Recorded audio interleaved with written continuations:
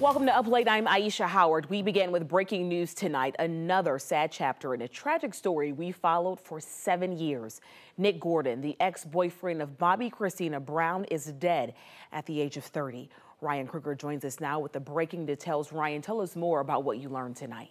Yeah, Aisha, this all started when we first saw the news on a social media post from a man claiming to be Nick Gordon's brother. Gordon's former attorney then confirmed it to NBC. He did not, however, say how Gordon died. Of course, he was best known for his star-crossed relationship with Bobbi Kristina Brown, the daughter of Whitney Houston and Bobby Brown. Bobbi Kristina died in 2015. She was found unconscious in her Roswell home.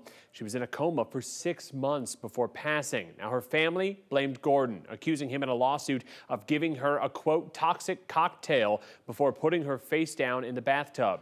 Gordon was never charged in the case, but he was found responsible in a wrongful death lawsuit. An Atlanta judge ordered him to pay $36 million to Brown's estate.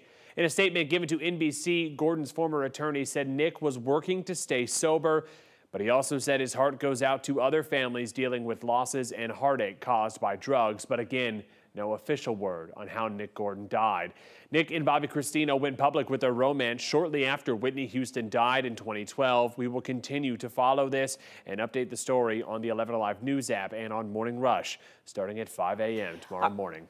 Thank you, Ryan. Our Atticus investigators took a deeper look at Brown and Gordon's relationship in their series, The Triangle.